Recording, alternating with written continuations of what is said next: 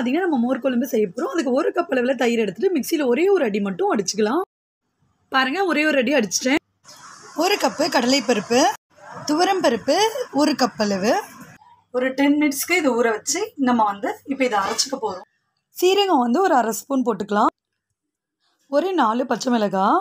அதையும் அது கூடயே போட்டுடலாம் கொஞ்சமாக இந்த அளவில் இஞ்சி சேர்த்துக்கோங்க. அரை முடி தேங்காய். அதையும் இது கூடயே போட்டு அரைச்சிக்கலாம். பாருங்கள் இந்த மாதிரி நல்லா நைஸாக நல்லா அரைச்சி எடுத்துக்கணும். ஓகே அடுத்து வந்து நம்ம தாளிச்சிக்கலாம் மோர் குழம்புக்கு. இப்போ பாருங்கள் கடாய் ஹீட் ஆனதும் கொஞ்சமாக வந்து நம்ம ஆயில் ஊற்றிக்கலாம் மோர்கொழம்புக்கு பார்த்திங்கன்னா ரொம்பவே வந்து ஆயில் ஊற்ற வேண்டாம்.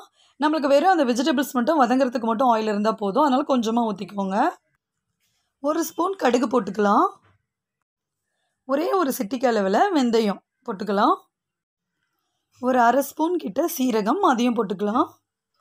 ஒரு ஸ்பூன் கிட்ட நம்ம உளுத்தம்பருப்பு அதையும் போட்டுக்கலாம். இது எல்லாமே பார்த்தீங்கன்னா ஸ்லோவில் வச்சு நம்ம நல்லா வந்து கிளறி விட்டுறலாம்.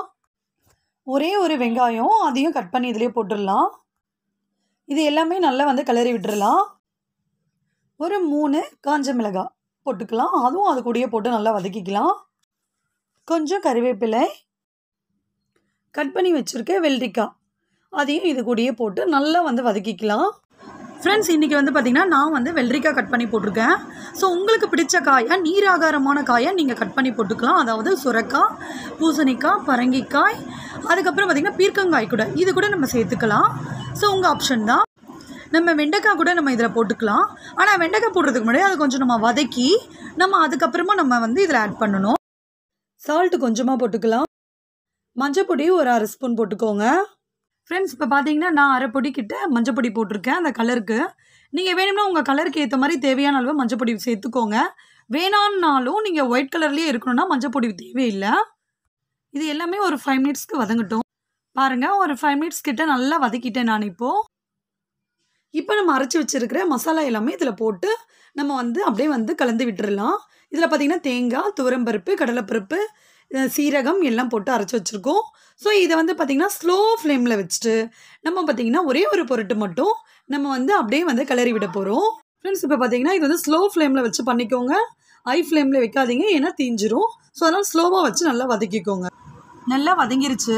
இப்போது தேங்காய் அரைச்ச மசாலா தண்ணியை ஊற்றிக்கலாம் பாருங்கள் நல்லா மிக்ஸ் பண்ணிட்டேன். ஃப்ரெண்ட்ஸ் இதுக்கப்புறமா பார்த்தீங்கன்னா நம்ம தயிர் ஊற்ற போகிறோம் ஸோ இதில் ஸோ அதனால் கேஸை வந்து நம்ம ஆஃப் பண்ணிட்டு தான் தயிர் ஊற்றணும் ஏன்னா தயிர் வந்து கொதிக்கக்கூடாது. ஸோ அதனால் திரிஞ்சு வந்துடும் ஸோ அதனால் வந்து தயிர் வந்து ஊற்றும் போது நம்ம கேஸை ஆஃப் பண்ணிடலாம். ஊற்றிட்டு நல்லா வந்து கரண்டியாலேயே இப்படி மிக்ஸ் பண்ணி விட்டுடலாம் அவ்வளோதான் ஃப்ரெண்ட்ஸ் மோர் கொழும்பு ரெடி ஆயிடுச்சு இதுக்கு மேலே கொஞ்சம் கொத்தமல்லி தலையும் கறிவேப்பிலையும் போட்டுக்கலாம்.